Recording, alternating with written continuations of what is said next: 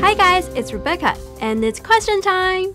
Hey Rebecca, why do subjects get omitted a lot in Chinese? Great question. So I would like to think of Chinese as a kind of like a telepathic language, and it depends a lot on context. So when we're having a conversation with somebody and we both know what or who we're referring to, there's no need to point out the subject. It's kind of like when we say wanna eat or gotta go in English. Except that we do this way more often and it has become a habit of ours to drop the subject. Now you got it, and I'll see you on the next one. Bye!